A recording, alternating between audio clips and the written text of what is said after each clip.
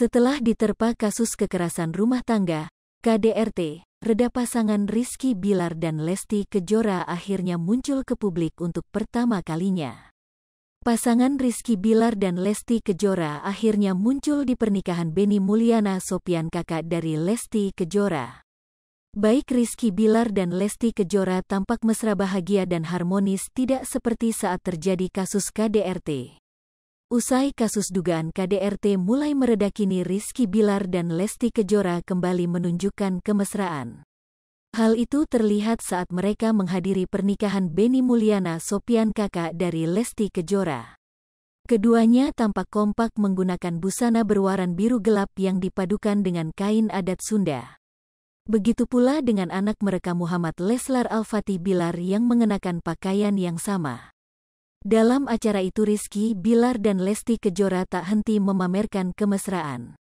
Dalam suatu momen Rizky Bilar menggenggam erat tangan Lesti Kejora saat mengiringi pengantin menuju kursi pelaminan. Seolah tak bisa jauh satu sama lain sehingga keduanya berjalan sambil terus perpegangan tangan keduanya terlihat terus menempel satu sama lain menunjukkan jika keduanya sudah tak lagi memiliki masalah berarti. Tak hanya pamer kemesraan dengan istri Rizky Bilar juga melemparkan senyum kepada tamu undangan.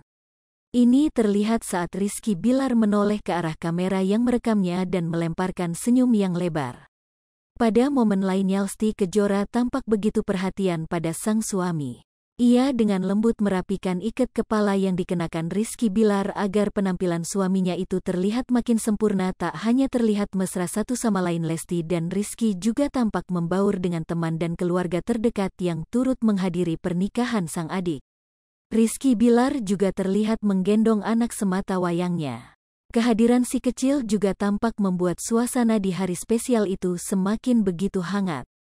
Rizky Bilar ketemu ayah mertua. IME sama dengan 0.4S lebih besar dari dalam pernikahan kakak Lesti Kejora, sikap Endang Mulyana ke Rizky Bilar jadi sorotan. Seperti diketahui, isu hubungan Rizky Bilar dan Endang Mulyana meregang usai kasus KDRT sempat merebak. Namun dalam acara pernikahan itu, Endang tampak ceria menampilkan senyuman kepada Rizky Bilar. Bahkan saat Rizky Bilar ikut serta melakukan upacara adat pernikahan Beni, Endang sibuk merekam sang menantu.